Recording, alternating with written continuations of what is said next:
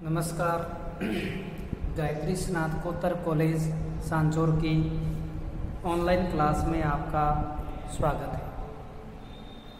प्रिय विद्यार्थियों, आज हम कक्षा बीए पार्ट द्वितीय विषय इतिहास में अकबर की उत्तर पश्चिमी सीमांत नीति व अन्य राजपूत नीति आदि के बारे में है वो पढ़ेंगे। तो देखिए, अकबर पूरे भारत को जीतना चाहते थे, इसलिए उन्होंने सभी राज्यों के साथ कूटनीति, मैत्री व युद्ध तीनों की नीति से कार्य किया और उसमें सफलता भी हाथ लगी थी। मेवाड़ के शासक, मेवाड़ के शासक, उस समय महाराणा प्रताप थे। और महाराणा प्रताप को पराजित करने व बंदी बनाने के लिए आमिर के कछवाहा मान सिंह को भेजा था। और आमिर के कछवा मान सिंह हल्दी घाटी के युद्ध में न तो प्रताप को बंदी बना सका। और न ही पूर्ण रूप से युद्ध जीत सका और न ही मेवाड़ पर अधिकार कर सका। इससे अकबर को गहरा धक्का लगा था और इसके बाद भी उसने कई प्रयास किए, लेकिन महाराणा प्रताप जीते जी कभी अकबर के हाथ हैं वो नहीं लगे। अब इसी तरह अकबर के आरंभिक राज्यकाल में काबुल का शासक उसका सौतेला भाई मिर्ज़ा मोहम्मद हकीम था। अर्थात भारत के इस मुगल साम्राज्य के पश्चिमों तक काबुल राज्य का जो सूबेदार है वो उसका सौतेला भाई मोहम्मद हकीम था। उसकी मृत्यु के बाद पंद्रह ईस्वी में अकबर ने काबुल को अपने साम्राज्य में मिला लिया और कछवाहा राजा मान सिंह को वहाँ का गवर्नर नियुक्त कर दिया। अगले वर्ष मुगलों ने कश्मीर पर भी अधिकार कर लिया और उसे काबुल प्रांत का एक भाग बना दिया गया। अब केवल दक्षिणी सिंध को छोड़कर समस्त उत्तरी भारत पर अकबर का अधिकार हो चुका था। सिंध को अधिकृत करने के बाद ही वह कंधार पर आक्रमण करना चाहता था। तो देखिए 1585 में अकबर ने काबुल को भी अपने साम्राज्य में मिला लिया और कछवा मान सिंह को काबुल का गवर्नर बना दिया और 1586 में कश्मीर पर अधिकार कर लिया और उसे भी अपने अधीन वो कर लिया था। इसके बाद दक्षिण सिंध को छोड़कर समस्त उत्तरी भारत पर अकबर का अधिकार हो चुका था। सिंध को अधिकृत करने के बाद ही वह कंधार पर आक्रमण कर सकता था। अतः उसने बैराम खां के पुत्र अब्दुल रहीम खान खाना को सिंध पर आक्रमण करने के लिए भेजा था। और सिंध के शासक मिर्ज़ा जानी बेग तुर्कमान ने उसका डटकर सामना किया था। किंतु परास्त हुआ और अकबर ने जानी बेग को शाही सेना में नौकर रख लिया। सिंध विजय के बाद अकबर ने कंधार विजय के लिए अभियान शुरू कर दिए। और पंद्रह ईस्वी में कंधार को मुगल साम्राज्य में है वो मिला लिया अकबर की ये विजय उसकी कुशल प्रशासनिक नीति को दर्शाती है, क्योंकि उसने फारस की साहा से संबंध बिना बिगाड़े कंधार पर विजय प्राप्त की थी। और इसी वर्ष बलूचिस्तान पर भी मुगलों का अधिकार हो गया था। और इसी बीच अकबर ने पंद्रह सौ बारानवे ईस्वी में उड़ीसा को भी बंगाल प्रांत के अंतर्गत सम्मिलित है, वो कर लिया था। तो इस तरह अकबर ने बड़ी ही सूझबूझ व कुशल नीति से काबुल, कंधार, कश्मीर, बलूचिस्तान और सिंध तक का क्षेत्र भी अपने अधिकार में वो ले लिया था। अब अकबर के दक्षिण भारत विजय के बारे में पढ़े तो तो देखिए, अकबर की दक्षिण भारत की विजयों में अगर हम पढ़ें तो अकबर का ध्यान दक्षिण भारत की ओर आकर्षित हुआ और अकबर ने दक्षिण के स्वतंत्र राज्यों के पास अपनी अधीनता स्वीकार करने के प्रस्ताव भेजे।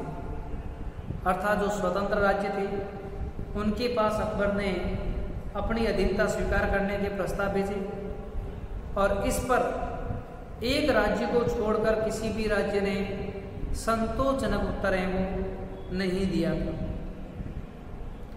अतः जिन राज्यों ने संतोषजनक उत्तर नहीं दिया उन्हें युद्ध में पराजित कर मुगल सम्राट अकबर की अधीनता स्वीकार करने के लिए बाध्य किया और दक्षिण भारत की विधियों का हम आगे जो पढ़ेंगे, शाहजहाँ, जहांगीर के औरंगज़ेब के काल में तो उसमें हम इसके बारे में विस्तार से वो देखेंगे। हालाँकि दक्षिण भारत में औरंगज़ेब के काल में छत्रपति शिवाजी एक बड़ी शक्ति के रूप में उभर गई थी। तो इस तरह अकबर ने दक्षिण भारत में भी अपनी नीति को क्रियान्वित करते हुए और इस भूभाग को भी मुगल साम्राज्य के अंग में अंग के रूप में शामिल किया था। अब देखिए, अकबर की राजपूत नीति। तो देखिए अकबर एक दूरदर्शी सम्राट था और उसने शीघ्र ही समझ लिया था कि राजपूतों की सहायता के बिना हिंदुस्तान में मुस्लिम साम्राज्य स्थायी नहीं रह सकता। तथा उनके सक्रिय सहयोग के बिना कोई सामाजिक अथवा राजनीतिक एकता संभव नहीं हो सकती। अतः उसने प्रेम, सहानुभूति तथा उदारता से राजपूतों के हृदय को जीतकर उनसे मैत्री संबंध स्थापित किए, जिसका विस्तृत विवेचन आगे मुगलों की राजपूत नीति के अंतर्गत किया जाएगा। अकबर की इसी नीति के परिणाम स्वरूप साम्राज्य में संयुक्त शासकीय वर्ग का उदय हुआ था और जिन राजपूत शासकों ने अकबर की अधीनता स्वीकार कर ली थी, उन्हें दरबार में सम्मान दिया गया ऊँचे ऊँचे पदों पर नियुक्त किया गया। उन्हें अपने धर्म का आचरण करने की स्वतंत्रता दी गई। और उन्हें अपने जीवन में धन, संपत्ति और मान मर्यादा की रक्षा का भी आश्वासन है, वो दिया था। अर्थात अकबर राजपूतों की शक्ति से भली भांति परिचित हो गया था और इस कारण से अकबर ने, राजपूतों ने, जिन्होंने भी अकबर की अधीनता स्वीकार की थी, उनको अपने दरबार में उच्च पद देकर मान मर्यादा देकर उनके अपने धर्म के अनुसार स्वतंत्र जीवन यापन करने का कहकर विश्वास दिलाकर उन्होंने अपने साम्राज्य को अक्षुण बनाया था। जो राजपूत अकबर की अधीनता स्वीकार नहीं करते थे। तो उनकी स्थिति को देखकर उन पर आक्रमण किया और उन्हें भी पराजित कर अपनी अधीनता स्वीकार करने पर मजबूर किया था। तो इस तरह अकबर ने अपने कुशल प्रशासन, कूटनीति व योग्यता के आधार पर एक विशाल साम्राज्य का निर्माण है वो किया था। अब हम देखते हैं अकबर के पुत्र सलीम का विद्रोह। तो देखिए, अकबर अपने बड़े पुत्र सलीम से शुरुआत से ही बहुत स्नेह करता था और उसे प्यार से शेखू बाबा कहता था। अर्थात अकबर सलीम को क्या कहता था? शेखू बाबा। और अकबर ने उसे अन्य राजकुमारों की तुलना में उच्च पदवी दिया हुआ था। और वह सलीम को अपना उत्तराधिकारी बनाना चाहता था। लेकिन युवा अवस्था में सलीम ने उदंडता और अपने पिता के प्रति अशिष्टता दर्शाई। सलीम अकबर के साथ साथ अबुल फजल से भी नाराज़ था। वह सिंहासन प्राप्त करने में उतवाला हो रहा था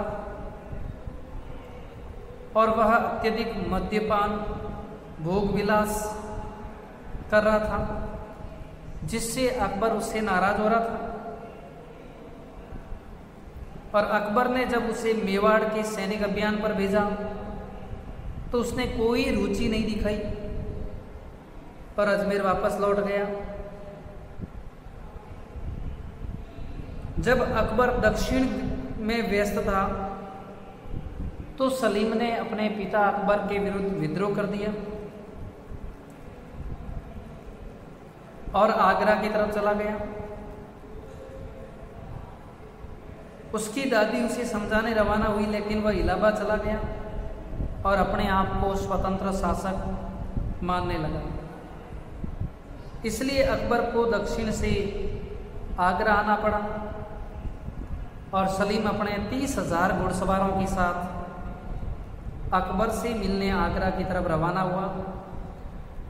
लेकिन अकबर का कड़ा रुख देखकर वह वापिस इलाहाबाद लौट आया। सलीम ने ओरछा के राजा वीर सिंह बुंदेला से अबुल फजल की है वो हत्या करवा दी। इस पर अकबर क्रोध से पागल उठा और सलीम सुल्तान बेगम और गुलबदन बेगम के प्रयासों से पिता पुत्र में मेल हुआ। लेकिन लंबे समय तक ये मेल नहीं चल सका और अकबर ने अपना ध्यान सलीम के पुत्र खुसरो पर केंद्रित किया। और आमिर के राजा मान सिंह और अज़ीज़ कोका खुसरो को प्रोत्साहित करने लगे और परिणाम स्वरूप सलीम और उसके पुत्र खुसरो के बीच तनाव और कटुता पैदा हो गई। इससे अकबर को इतना आघात लगा कि वह बीमार पड़ गया। और इसी बीमारी के कारण 1605 में अकबर की है वो मृत्यु हो गई। तो इस तरह अकबर ने अपनी सूझबूझ से साम्राज्य स्थापित किया। लेकिन उसके पुत्र सलीम के विद्रोह ने उसे कमज़ोर कर दिया और आपसी घर के झगड़े के कारण अकबर चिंता में पड़ गया और उसकी वो मृत्यु हो गई थी। धन्यवाद।